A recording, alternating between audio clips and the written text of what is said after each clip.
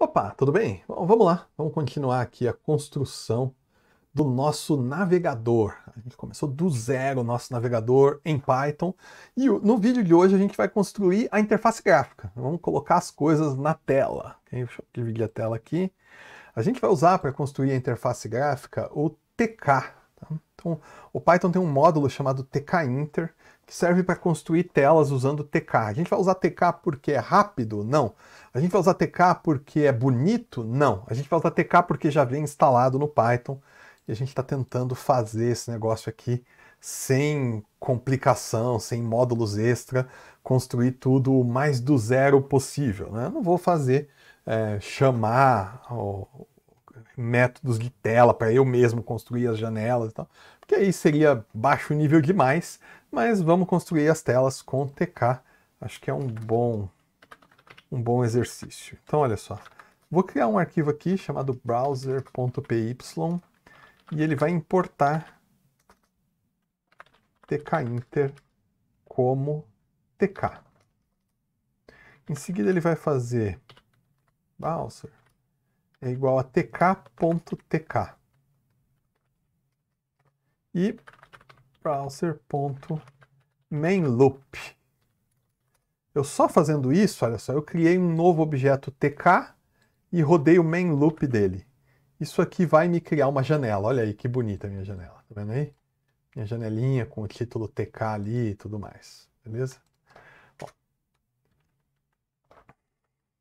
Python importa tk inter stk help tk.tk. Muito bom, olha lá. TK, screen name, base name, class name, use TK, sync, use. Aqui não me dá nenhuma boa dica a respeito de como setar o título da janela, né? Title igual a WM title. Onde está esse title aqui? Isso aqui é uma lista de quê? methods. Uhum.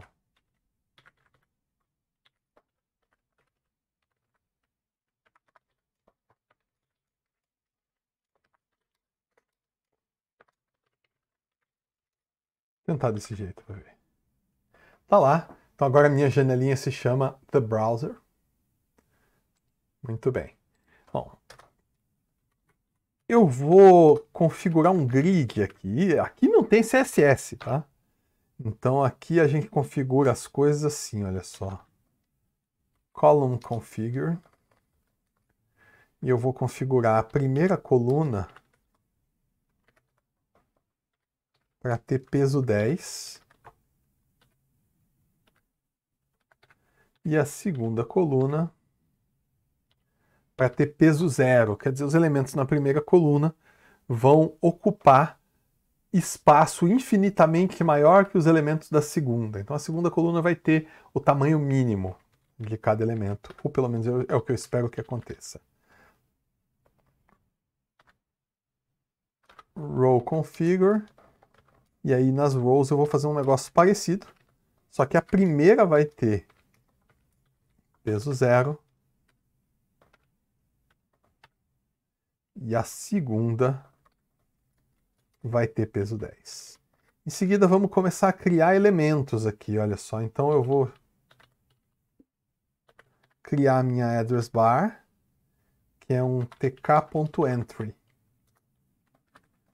Ok, uma entrada de dados. É um input, um campo de digitação de dados, beleza? E aí eu vou fazer address bar.grid Vou colocá-lo no grid da minha janela, na coluna 0, na linha 0, e vou fazer stick com oeste e leste. Tá? Então ele vai ocupar toda a largura, né? vai fazer stick dos dois lados. E GoButton é igual a tk.button text igual a go. Gobutton.grid coluna 1 linha 0. E acho que por enquanto tá bom. O browser main loop tem que ir lá no final.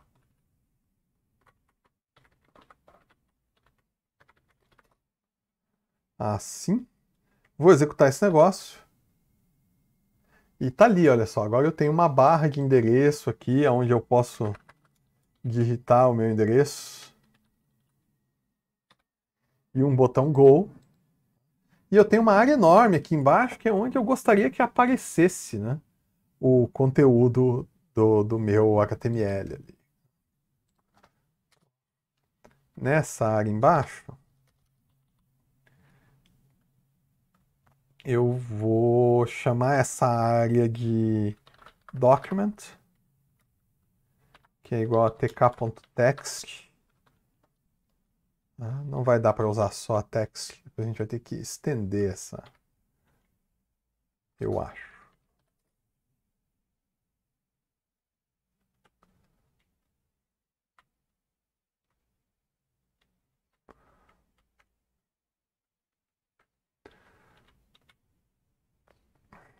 Deixa eu ver aqui. Olha só, text recebe configuração, asterisco, asterisco, KW. Né? Sendo que ela pode receber background. Deixa eu ver se isso é assim que funciona.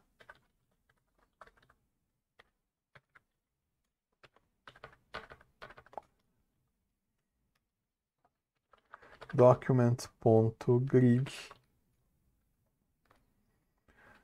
coluna 0, linha 1. Então ele vai aparecer embaixo da barra de endereço, mas vai ter column span de 2, tá? O grid do TK, se você já trabalhou com tabelas em HTML aí, você viu que é meio parecido, né? E o stick dele vai ser com todos os lados possíveis ali. Então, isso aqui está ficando grande, essa assinatura. Vamos quebrar. tk.s mais tk.n mais tk.e mais tk.w. De novo, escrevi código depois do main loop.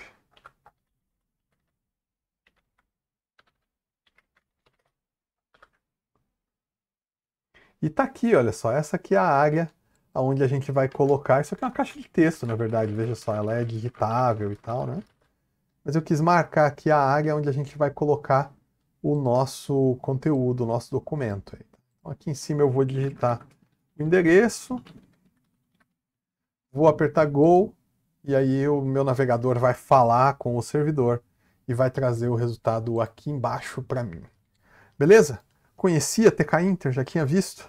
Você tá vendo que a, nossa interface está bem simples mesmo, de propósito, tá? A ideia é que conforme a gente for implementando o recurso, a gente vai pondo o botão aqui, mas vamos fazer o básico primeiro. Primeiro a gente faz ele andar, depois a gente faz ele dançar, beleza? É isso. Tá curtindo essa série, cara? Deixa seu comentário aí. Já tinha visto alguma coisa assim? Tá? No próximo vídeo a gente volta a falar de rede, de falar com HTML, de interpretar, de trazer dados para cá e tal. É, mas a gente precisava gastar esse tempo com o TK agora construindo a tela. Diz o que você está achando aí. Seu comentário é ouro para a gente. Tá? Saber que caminho a gente está indo, se você está gostando. Valeu!